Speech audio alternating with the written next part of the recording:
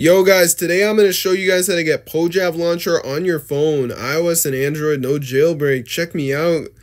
Look at this guys, it actually works. So I'm going to show you guys how to download this onto your device. So what you want to do guys is go ahead and go over to this website. So it's called zoomods.com. So once you're on the site guys, just go to the search bar and we're literally just going to type in Pojav Launcher. And as you will see, it should say Pojav Launcher. Yeah, there it is, Pojav Launcher mod. So press on it and wait for it to download. If you got a decent internet, shouldn't take that long, but be sure to try it out. See you guys later.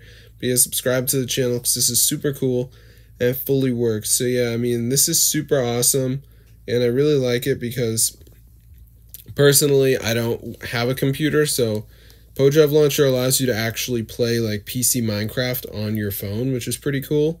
So I really like that, and uh, I think more people should try this because it's actually working, and uh, there's no Pojav launcher on the App Store. So if we go to the App Store and type in Pojav, you can see that there is not a Pojav launcher, unfortunately. So yeah, you're kind of screwed.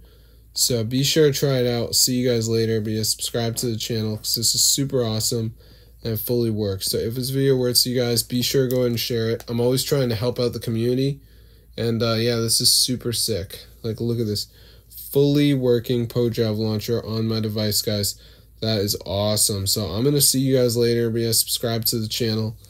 And uh, yeah, it's super cool. Like, I'll see you guys later. And yeah, subscribe to the channel. This is so awesome. And uh, yeah, so I hope you guys enjoyed. But yeah, try it out for yourself. Get the word out.